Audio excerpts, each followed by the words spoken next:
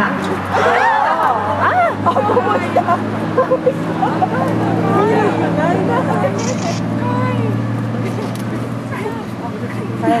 兄さんの大変勢い余ってミルクをすべてこぼしてしまいました、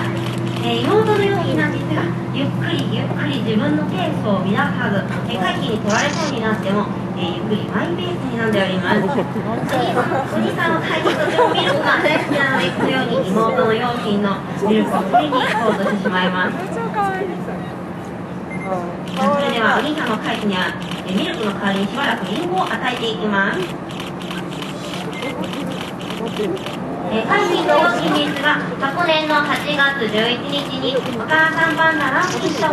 え、お父さんパンダ永明のもとに誕生いたしました、え、現在は約30お兄さんで38キロ妹の容器で、え、40キロまで成長しております。生まれたばかりの頃は本当に手に乗るほど小さなサイズでして体重、え体重が 158g そして妹の容器で 123g で誕生しました私このように持っております。がかなり重たいですまた力も大変強くなっておりますので容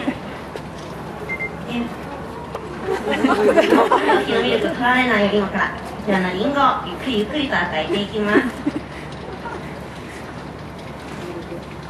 はい、妹の容器まだまだ3分の2ほど、えミルクが残っておりますこの後お兄さんの返しのミルクを作り直してきますとあっという間に飲んでしまいますえ実は海浜の容器このように今はお皿からミルクを飲んでおりますが、えお皿の前は哺乳瓶を使って仰向けになって飲んでいたんです。さ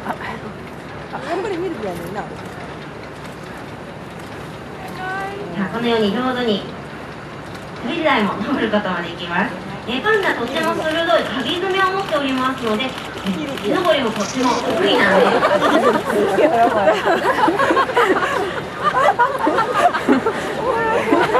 お兄さんにはもう少しだけミルクを待っていただこうと思います。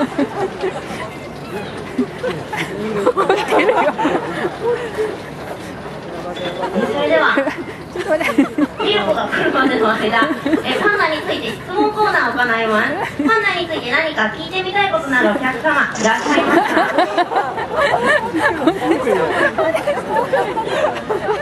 最後からパンダについての質問タイムを行います。スタッフに何か聞いてみたいことパンダについて疑問に思ったことありましたらぜひこの機会にお尋ねください。大きく手を挙げていただけましたらこちらからスタッフがお伺いいたします。